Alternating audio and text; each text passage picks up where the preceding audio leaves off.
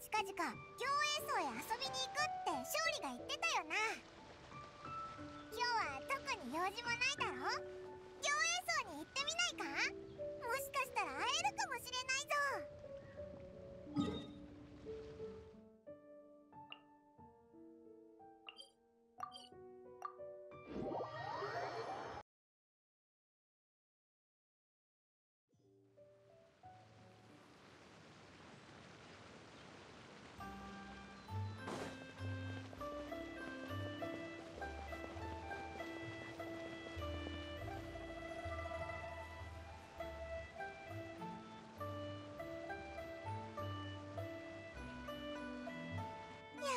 空気は美味しいなこのままずっと歩いててもちっとも疲れない気がするぜ。クリー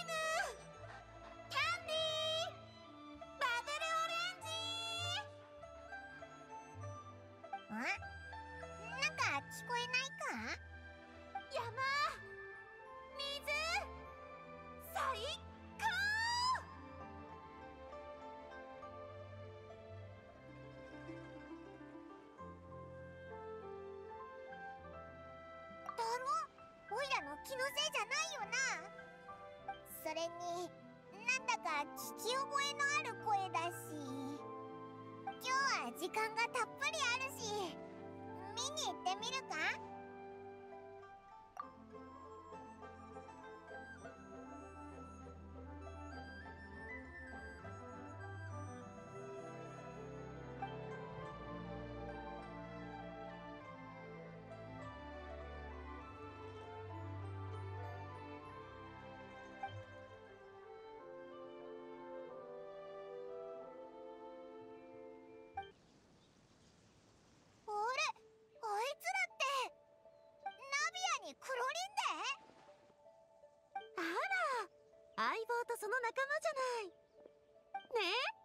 え今日旅に出たら絶対いいことが起こるって言ったでしょ？スチームバード新聞の占いコラムってたまにすごく当たるのよね。ナビアの運がいいのだろう。あんたたちもリーウェのお祭りを機に旅行へ来たの？解答祭を祝して。怪盗祭。いい仮説だな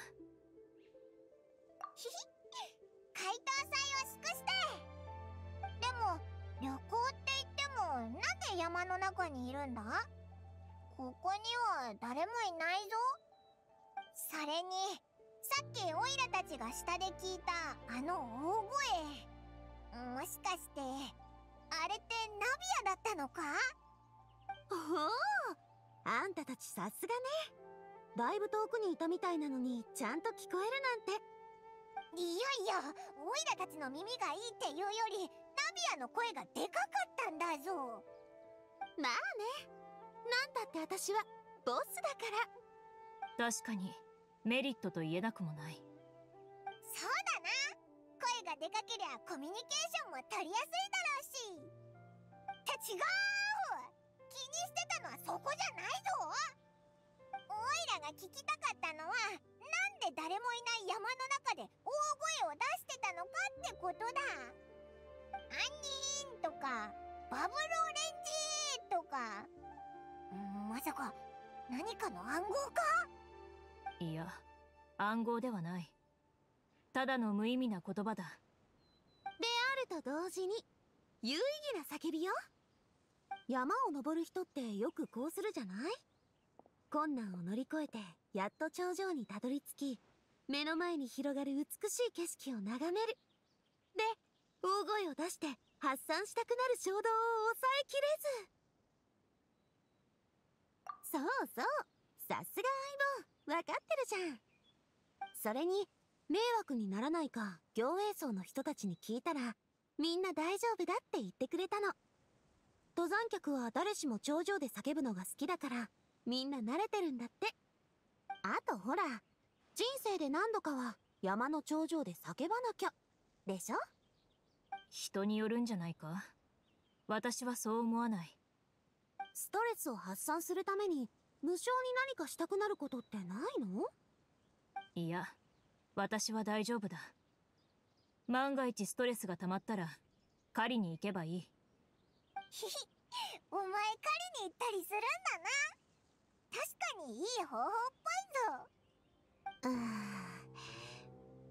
ん。何を狩るかは気分次第だがな。え？ところで。あんたたちも叫んでみない？内容は何でも OK 適当で大丈夫。ストレス発散になるから。うーんオイラは別に毎日食べ物にも寝るところにも困ってないし発散するようなストレスがないぞ。それって恥ずかしいから理由を作って逃げようとしてるだけじゃない？ほらそんなに気張らなくていいって。そさっきフリーナもやってたんだから。ええ今の聞き間違いじゃないよな。フリーナも競泳層に来てるのか？自分の耳を信じていい。聞き間違いではない。実を言うとこの山に登ったのは誰かの叫び声を聞いたからなんだ。そう。誰かが「助けてくれ!」とか「どうすればいいんだ!」って叫んでてね。それがぼんやりと聞こえてきたもんだから私たちも急いで山に登ったの。そしたら顔を真っ赤にしたフリーナとばったり会ったのよ。私たちを見るなり一目散に山を降りてったけど。ああ思い出した。あの時フリーナ様が叫んでいたのは「助けてくれ。台本はどうすればいいんだ」だったな。なんて叫んでたかはっきり聞こえてたの？どうして早く言ってくれなかったのよ。本当に誰かが遭難したのかと思ったじゃない。どちらにせよここまで来て状況を確認する必要はあったろう。それとあの方のメンツのことも考えあえて言わなかった。えっとストレスを発散してたらお前たちに見られちゃったみたいだな。異国で知り合いにばったり会うなんてフリーナはおそらくいや全く予想もしてなかっただろうな。多分そうでしょ来る途中ヌビレットさんに会ったけどその時はもう帰ろうとしてたし一緒に行動してるわけじゃないと思う。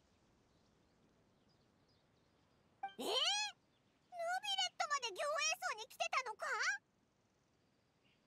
ヌビレットは何しに来てたんだ？まさか旅行ってわけじゃないよな。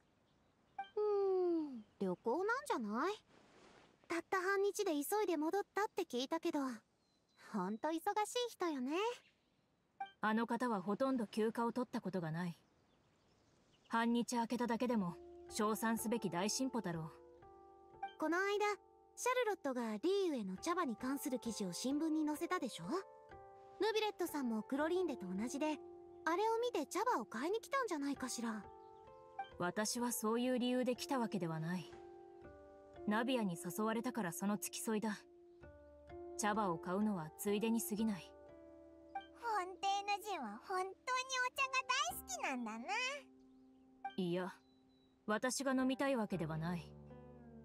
この間公爵との賭けで負けてな。その景品として何か送る必要があるんだ。ただの口頭での賭け事に過ぎないがな。公爵は気分で賭け事に興じるところがある。具体的に何を勝ち取ったかなどほとんど気にしない。道端のミントを積んでそれを渡しても構わないだろう。だから適当に何か買ってあげればいい。はあ。取引に対してもそのくらい適当だったらよかったんだけど。そういえばあんたが買ったあの茶葉ここの特産品なんでしょ？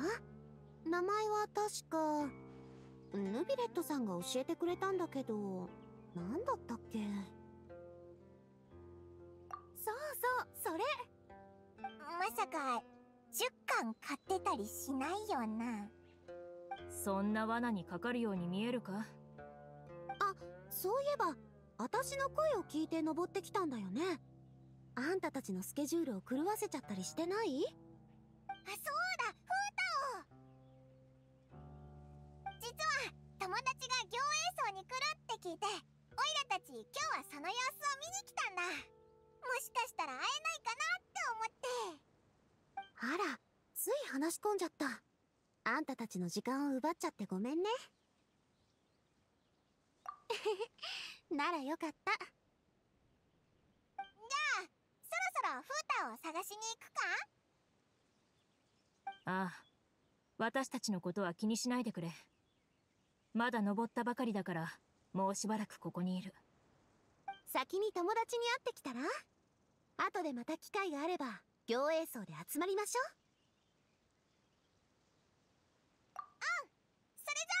ちは先に降りるな。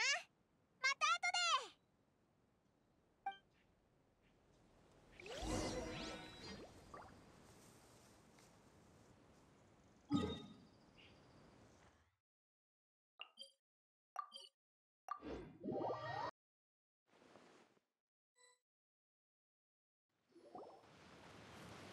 競泳層といえばお茶。お茶といえばザオ茶だよな。ひ ひザオ茶の時間は長いってガミンが言ってたし。この時間でもまだ天津って食べられるかな？午後だろうと午前だろうと関係ないぜ。どうせ天津を食べることに変わりないんだからな。この辺りになんか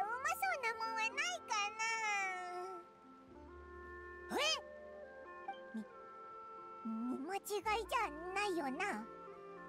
フータオと勝利の間にいるのってフリーナじゃないか？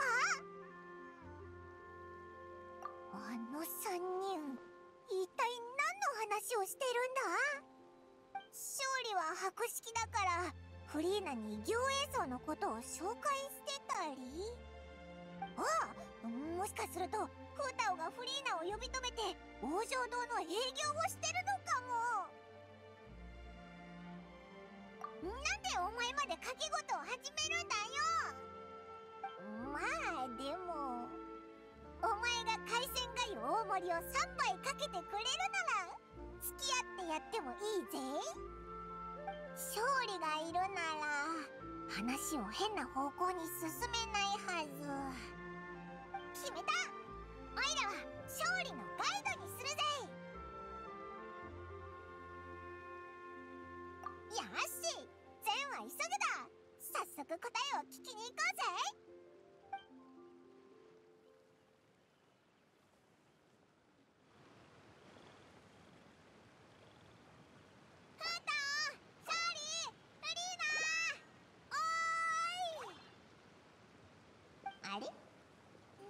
オイラまで大声を出すようになってんだ？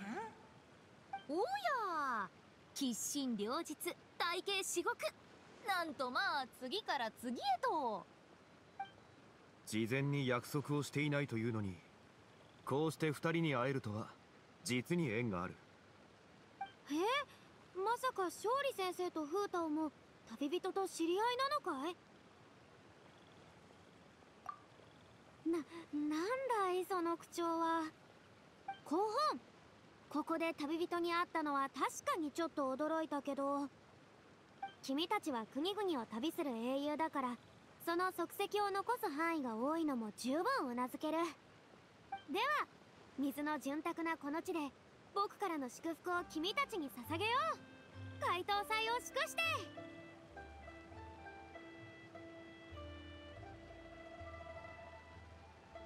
つまりお前たちはフォンテーヌの地に足を踏み入れたのか。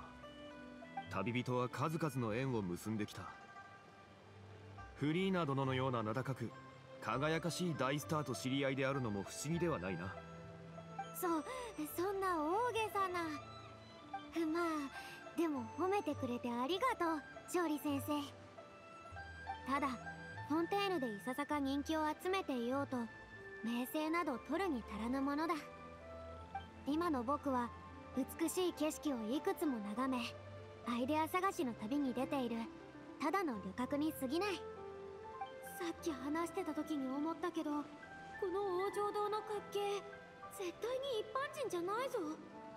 あれほど物知りで見聞も広いのにフォンテーヌで起きたことを知らないわけがない。もしかして僕のメンツを立てるために知らないふりをしてくれてる？このこの何言ってんの？ただの旅客だなんてこの同士はそんな自己紹介認めないからね。まさかフータオまで。ねえ親友？聞いてよ。ええそのフータオフリーナは私のお客さんになったんだよそそうそうなんだ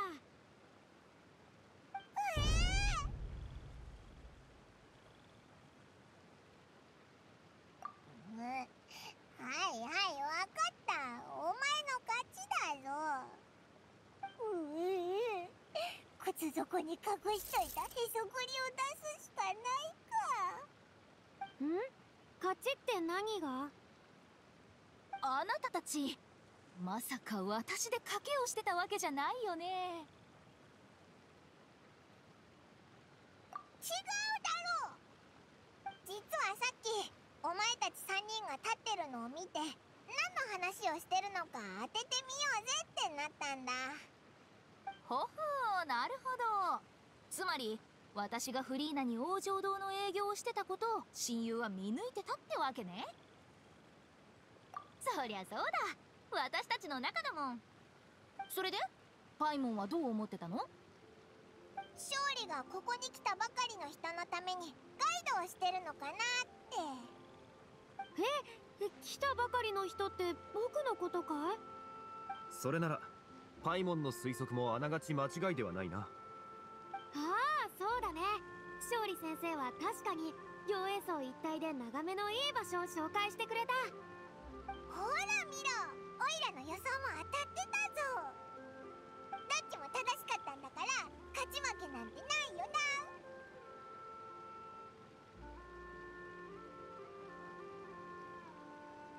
おいおいそうしょぼくれるなんて。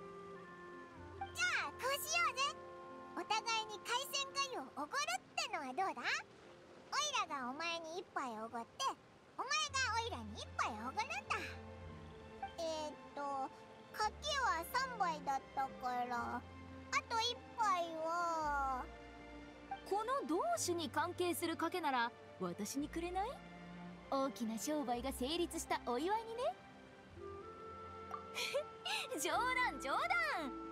王城堂はちゃんと利益が出てるしむしろ私が吉日を選んでみんなにおごってあげないと。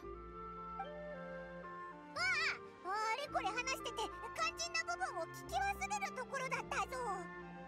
フリーナお前なんかあったのか？ん？何のことだい？えっとつまり王城堂が必要ってことはさつまり。ああそうだよ。嘘だろ。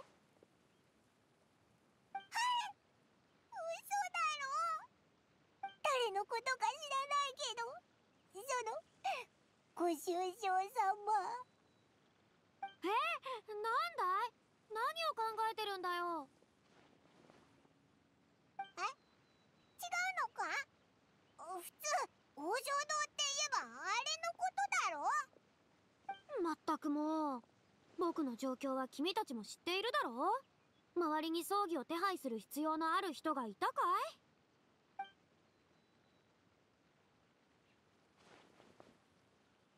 フータオに頼んだのは衛で使う道具の用意さ。この間リーユエで出版されたホラー小説を読んだんだけどその内容が実に素晴らしいものだったんだ。今でも毎晩明かりをつけないと寝られん。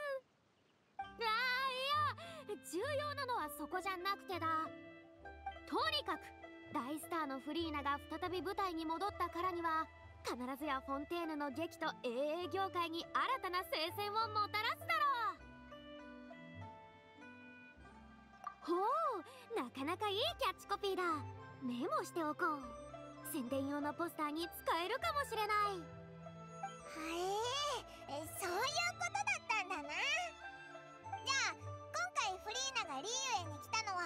ざわざ王城堂を訪ねるためだ。これはちょっと違うね。もともと僕は外国の景色でも眺めて気分転換をしようと思ってたんだ。けどそこで運よくフータオと勝利先生に出会ってね。これぞまさに運命の導きと言えるだろう。ああ確かに良い縁だ。勝利さんはぐらかさないの。私に言わせれば道を訪ねてきたあの人に感謝しないと。ん？誰のことだ？君たちも知っている人だから当ててみるといい。えー、一発で当てるなんて。さすが親友。今日の推理力は神がかってるね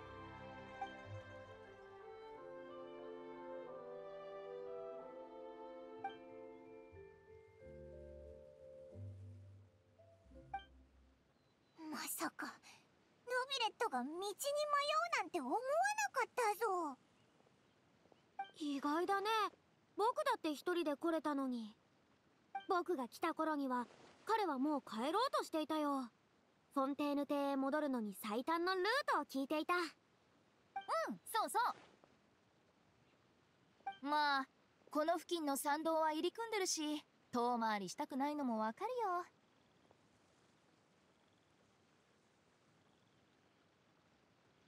それでフータオは道を教えてやったのか？もちろん。この同志は一応案内人の端くれだからね。方向感覚は抜群だよ。でもあなたたちの友人だけど。どうかしたのか？彼ってあんまり人付き合いが得意じゃないんじゃない？ああ道理で。背筋をピンと伸ばした歩き方とあの几帳面な言葉遣いとても休暇できてるとは思えなかったもん。往復の移動を含めて半日だけだろ？彼以外誰も休暇だとは思っていないだろうね。どうやらその紳士は日頃からかなり多忙なようだな。明らかにそうでしょう。勝利さんは見てないけど休暇だっていうのにあの人会議に出席する責任者みたいな服装だったんだからそうだったのか。勝利はヌビレットに会わなかったのか？あいにくな。ちょうどその時同志とフリーナ殿の打ち合わせがはかどっていた。業務のこととなると長引くと考え二人のために茶を取りに行っていたのだ。残念だね。あの紳士言葉遣いは硬かったけど勝利さんと気が合いそうな感じだったようん。そうか。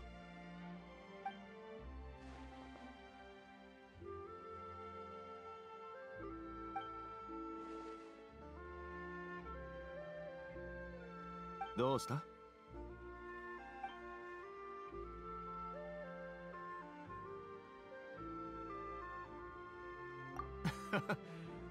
フリーナ殿の言葉を借りればこれもある種の運命なのだろう。大丈夫さ。旅人がいればいつかは知り合うことになるだろうしね。それもそうだな。こいつは誰よりも友達が多いし。ああまさにその通りだろう。あそうだ。もし機会があったら君からヌビレットに行ってあげてよ。彼が数日いなくたってパレメルモニアは通常通り稼働するずっと室内に閉じこもってる必要はないんだってね。水の中の貝だってたまに殻を開けて新しい水を入れないといけないんだからさ。ルールのことが心配なら自分で休暇申請を書いて自分で審査を通せばいいじゃないか。もしかしてヌビレットさんってお偉いさんなの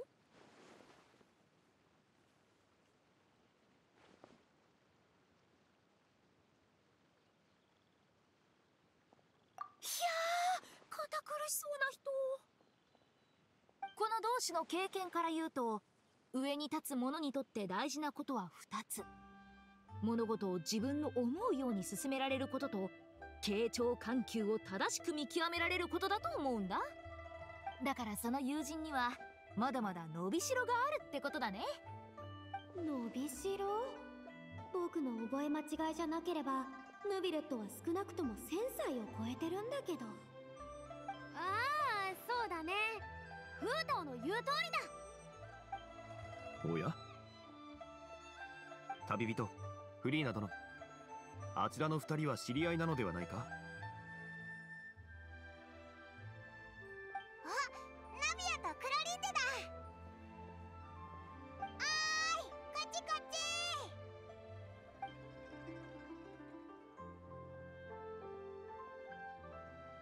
みんな話が盛り上がってるみたいね。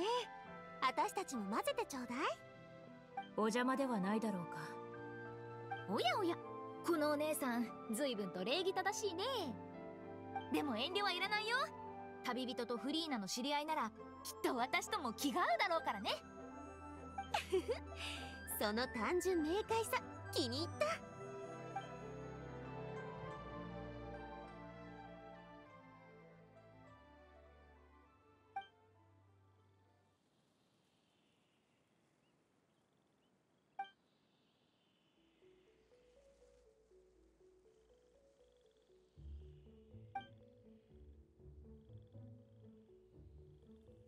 時間が経つのって早いね。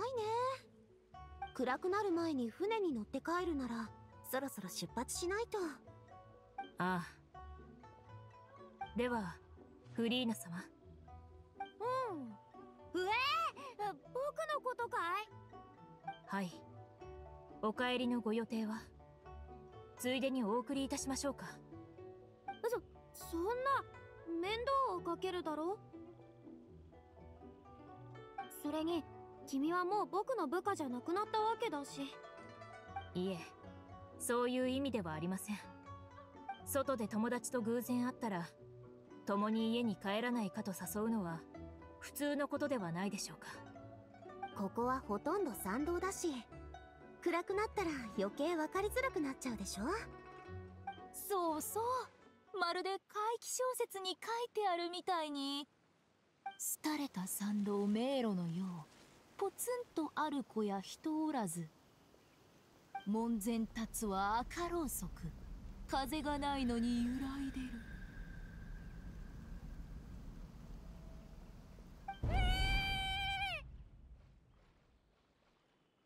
親愛なる淑女レディ友よ！ぜぜひこの僕も一緒に連れてってくれ！もちろんです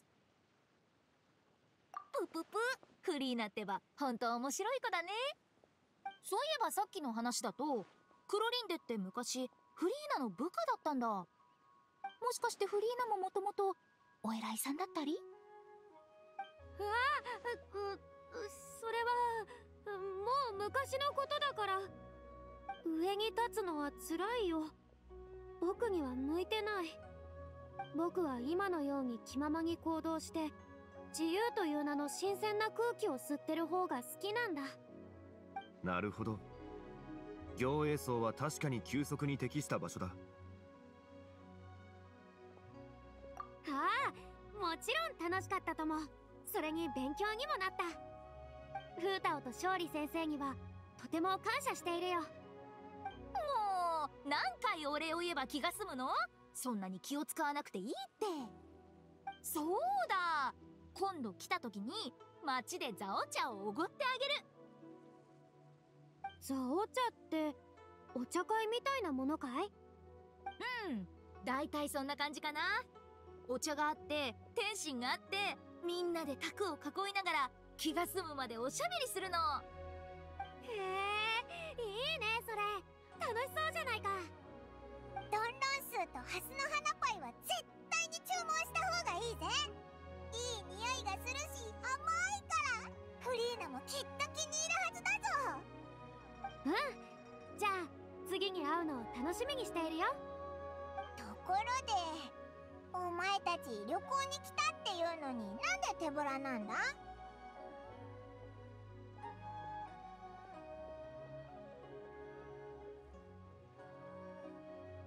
もちろん。持って帰るに決まってるでしょ？面白い小物をたくさん買ったんだ。タコに紙の傘。それから飛び跳ねる鉄のカエル。あと小さな芸獣のぬいぐるみ。クロリンではあんまり買わなかったけど。まさか茶葉しか買ってないのか？いやあとお茶味のキャンディーをシグウィンさんへのお返しだ。クロリンではいつもこうなの。物欲があんまなくってああ。ナビアと差し引いたらちょうどチャラになる。先に言っておくけど私別に無駄遣いはしてないからね。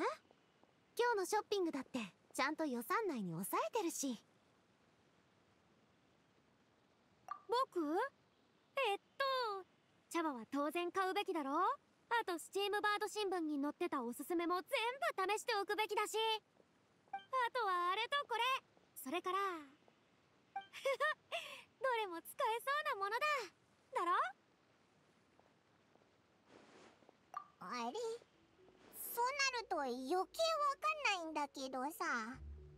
買ったものはどこに行ったんだ？まさかリネのマジックポケットを使ったとか。ああそれは。全てヌビレット様が持ち帰った。なるほどそういうことだったのか。ってなんでだよ。どうしてあいつが持って帰ったんだ。宝物でも集めてんのか。パイモンってば想像力が豊かだね。ヌビレットさんは私たちの荷物が多くて不便そうなのを見てフォンテーヌ邸まで持ち帰るって言ってくれたの。最初はちょっと申し訳なかったけど。だだって結構たくさん買っちゃったし。仕事が終わったらお土産をメロピデ要塞まで届けるのを手伝うともおっしゃってくれた。ヌビレット様は約束を守るお方だ。そうおっしゃったのなら最後まで責任を持ってやり遂げるだろう。ほらクロリンでもこう言ってる。彼の頼もしい部下がここまで言うんだから私もついでに頼むことにしたの。へえ？まさかそんなに優しい人だったなんてね。見た目ほどお堅いわけじゃないんだ。ああ。うちの王城堂にもそんな風に責任感があって。用意周到で。積極的に動いてくれる人がいたらいいのにな。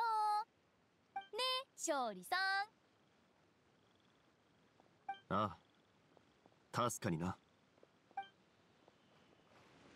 そういえばがこう言ってたよな。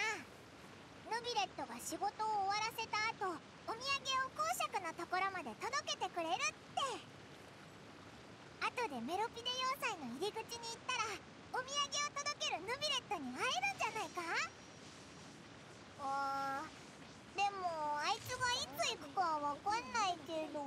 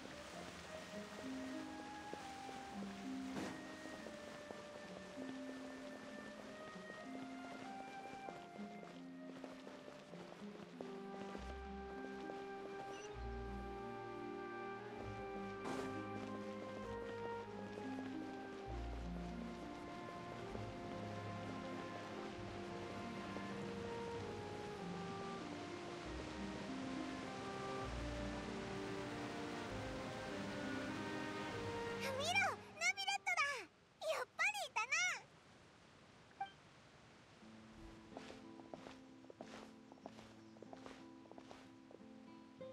君たちか。久しいな。ここは人通りが少なくとても静かだ。仕事が早く終わったゆえここを散歩していた。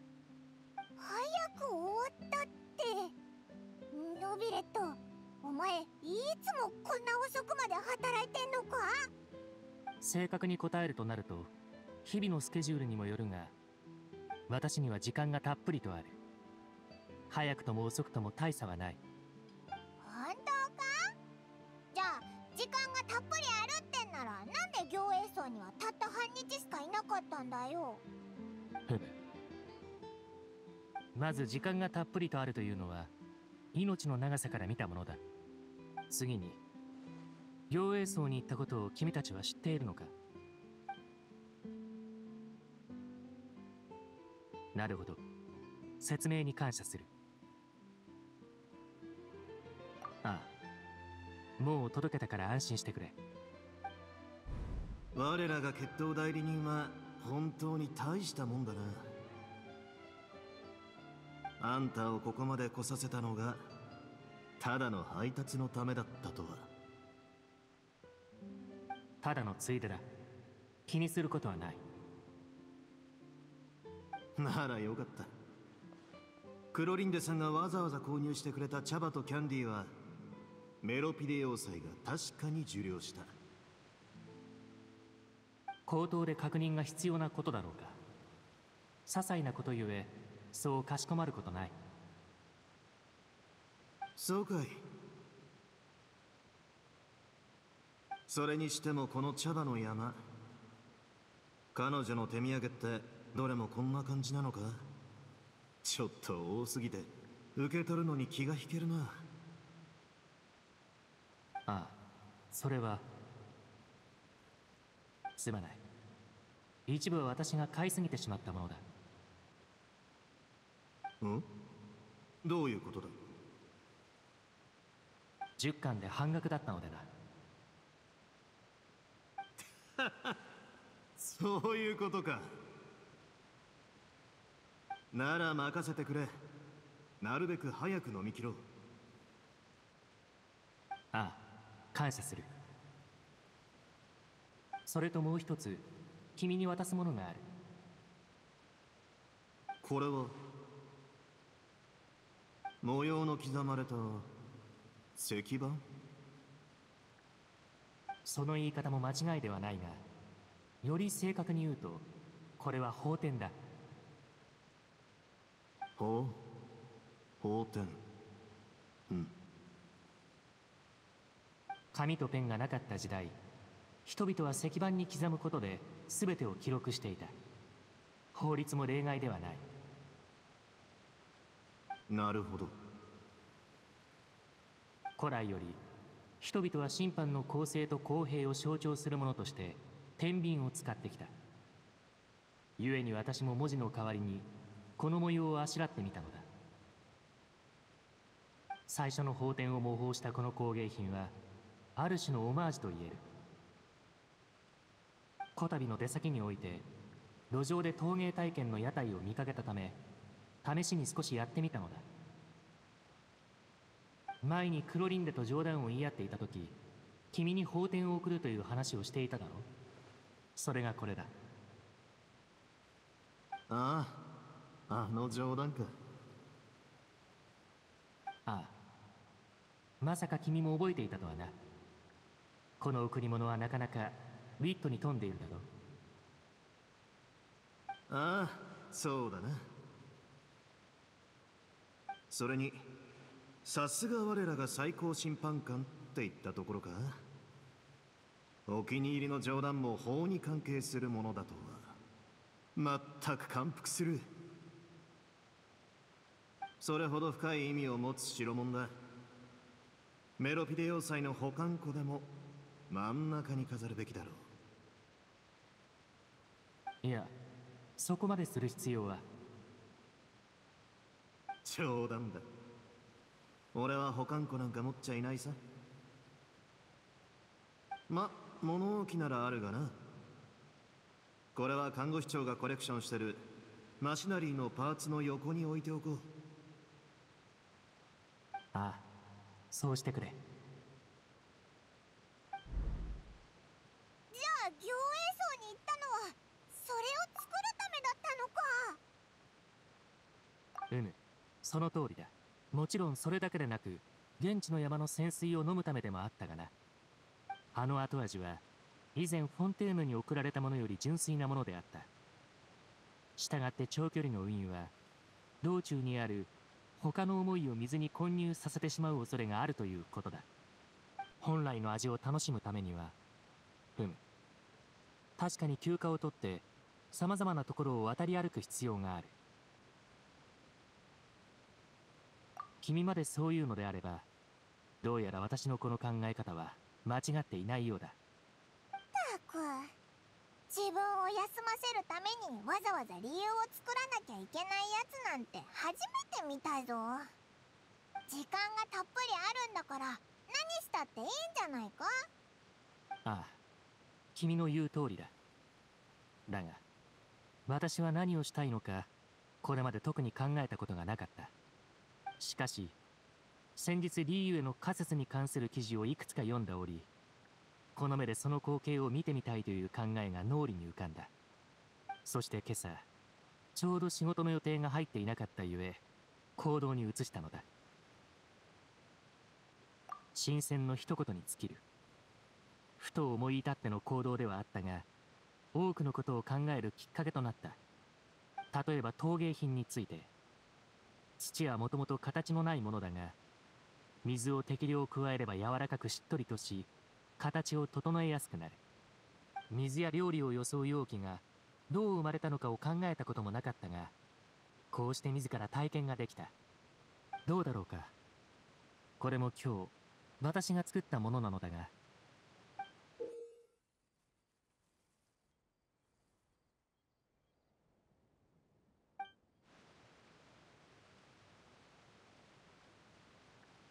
スプーンだったのか首の長い怪獣かと思ったぞ確かにそのような芸術的な意図も込めてある。本当だろうか？これを用意しなと？正直に言うと今日まさか君たちに会うと思っていなかったのだ。故に何も用意をしていなかった。リーウェの仮説にあたり人間社会のマナーでは新年を祝うためのプレゼントを用意すべきだという。もしよければこれを受け取ってくれないだろうか。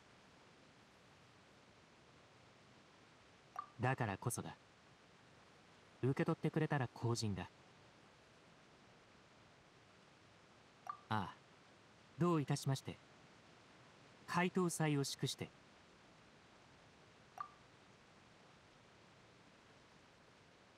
自分の休暇申請を自分で通すか。自堕落の渦に陥ってしまいそうでかえってルールに背いてしまいそうだ。だがうむ。承知した。これまでプライベートで出かけたことはあまりなかった。